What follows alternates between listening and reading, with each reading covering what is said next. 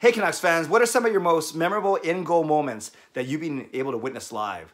I'm Clay Imoo, I'm at Canuck Clay on Twitter, I'm at Clayton Imoo on Instagram, I'm the founder of the GLCPC, the Good Looking Canucks Positivity Club, and this is my Canucks take all in one take. It's Clay's Canucks commentary for Sunday, March the 29th. Before I start, I want to invite you to my YouTube live stream tonight at 10 p.m.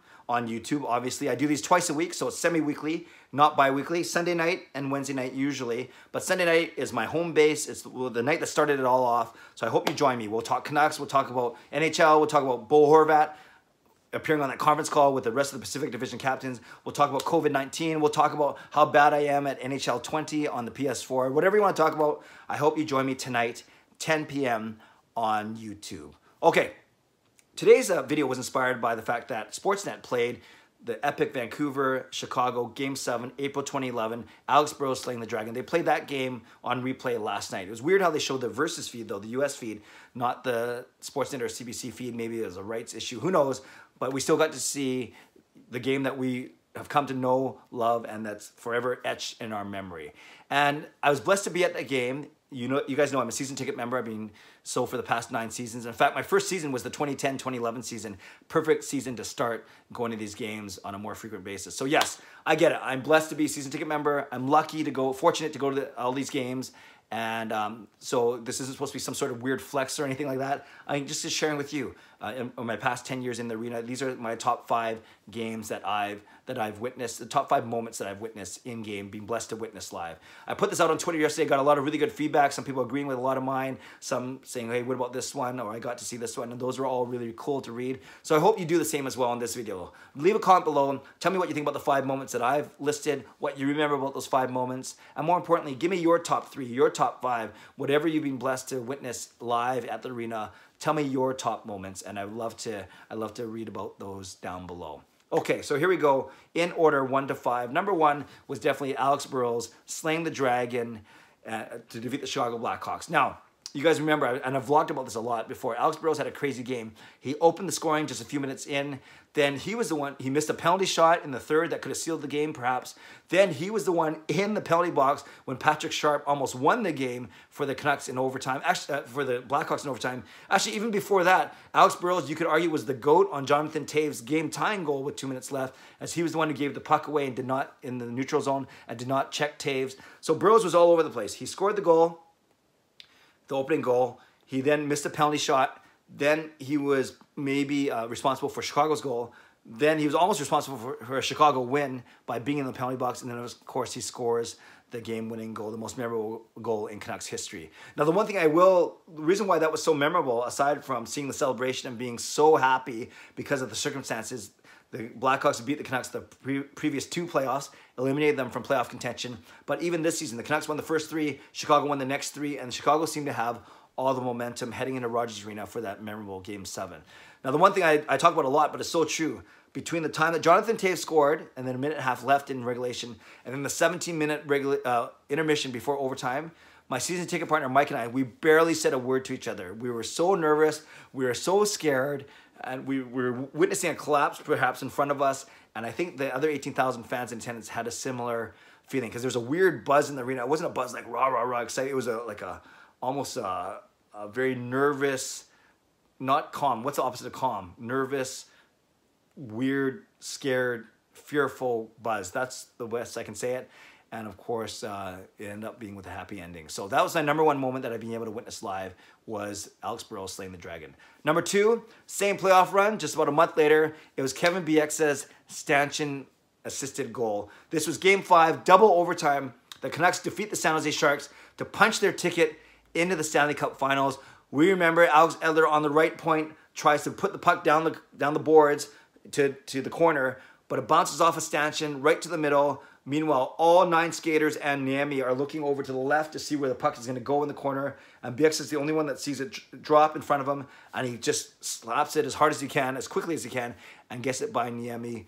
Of course, uh, euphoria erupts. The Canucks are off to the Stanley Cup Finals. And that was a really, really exciting goal to see as well because you, then you get all the confetti. And, and it was, um, I say there was more pomp and circumstance to that goal than over the Burrows goal. But still the Burrows goal was was even more of a relief almost. Although this this is a very close second, this uh, Bieksa stanchion goal because of what it meant to the for the Canucks. It meant that they're going to the Stanley Cup Finals, and um, yeah, and it, just because it's such a fluky goal, that's why it's been so memorable. So that's my number two is Kevin Bieksa's stanchion assisted goal. My number three in-game moment, in-person moment, was when Daniel Sedin scored in overtime in their, the Sedin's final home game. So this was like the second last game of the 2017-2018 season because they had one more game after this to play in Edmonton. And to the Oilers' credit, they did a nice, uh, more subdued, but a nice salute to the send-off to the Sedins. But we know it was overtime. It was a power play in overtime. So it was Horvat with Edler and the Sedins, and they held the puck for about a minute and 20 seconds. I don't, uh, uh, Arizona didn't touch the puck. It was Ekman Larsson. It was Richardson. It was one other guy. And and Horvat didn't touch the puck actually after he won the faceoff. Uh, he kind of jokes about it. He just skated to the front of the net and played decoy. And it was Daniel, it was Henrik, and Alex Edler all all uh, passing the puck, taking shots, retrieving rebounds, whatever it may be. And then Daniel puts it into the net. I believe it was at 233 of the overtime period. So obviously a bunch of twos, a bunch of threes, giving us Daniel, a bunch of Henrik. That's made it even more cool. But that was so exciting. And I, I posted video of my live reaction. I was there with my son, Sean, and one of us was wailing. I don't know who, but you hear one guy go, oh! I'm, I'm claiming it was him. It might have been me, but it doesn't matter. I'm, I'm man enough to admit that I can cry once in a while. So um, that was my third most memorable moment. Daniel Sedin scoring in overtime for the um, the final Sedin's home game. And you guys might remember prior to that game, my son and I were were blessed to be in the tunnel, fist bumping all the players, including the Sedins, as they made their way onto the ice. We, uh, my, you know, my season ticket rep has connected me with that, um, set me up with that, so I was very blessed about that. And in essence, um, uh, I, I, put that video up on YouTube as well. It was kind of embarrassing because I got so excited and, and my hand was shaking and, and you can't even see, I actually, my, my, my, I think my hand sunk a bit. So all you see is the guy's chest. And then about 15 seconds in, I realized that I'm filming everyone's uh, logo and not their face. So I figured out, but hey, I was pretty excited to fist bump Henrik and Daniel in their final game at Rogers Arena. So that's number three. Number four was actually game one of the Stanley Cup final. So here's my third entry from the 2011 playoff run. It was game one. It was 0-0, scoreless game until 19 seconds remaining. And that was Raffi Torres scoring on, it was a two on one, and he puts the uh, puck past Tim Thomas. And then it was such a tight, stressful, intense game. And there we go. We're now we're only three games away, three wins away from winning the Stanley Cup. And I remember the place went wild uh, because now we're one game up on the Boston Bruins in, in the Stanley Cup Finals. And for for the goal to be scored 19 with 19 seconds left, it was in essence like an overtime goal, like the other three uh, that I've talked about today. So um, of course the the Canucks fans were jubilant, were excited. Game one in the bag, only have to win three of the next six. We know how that turned out.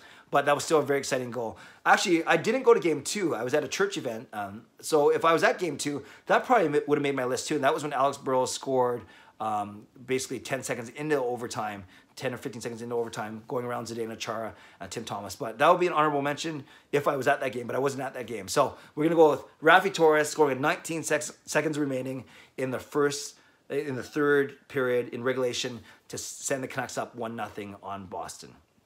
And then my fifth most memorable in-game uh, moment um, in, in, in person was Henrik Sedin getting his 1,000 point against the Florida Panthers. So this was a few seasons ago, and fittingly, Roberto Luongo was in the net. Henrik actually scored the first Canucks goal of the game. The Canucks ended up winning that game 2-1, so it was nice that the Canucks uh, won the game.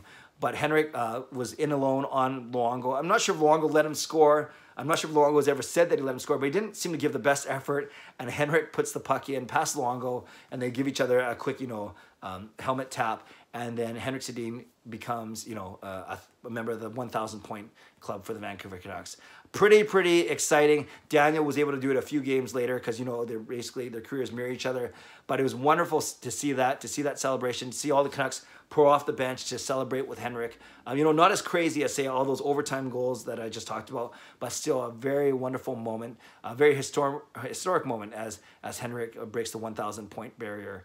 And um, you know, it's something that um, I don't think a lot of Canucks, well, maybe Pettersson, but not a, a lot of Canucks are going to do in the future. So that was a wonderful uh, moment to be a part of. I've heard some other honorable mentions. Uh, you know, 82 playoff run, 94 playoff run. I wasn't um, going to the games back then those would have counted. Um, some are saying that the, the retirement game for the Sedins Um, and yeah, that before the game that was fine, and during the game maybe maybe it was Jacob Markstrom's wonderful performance to, to beat Chicago. So there's been a lot of honorable mentions, other playoff wins, other playoff moments, but those are my five.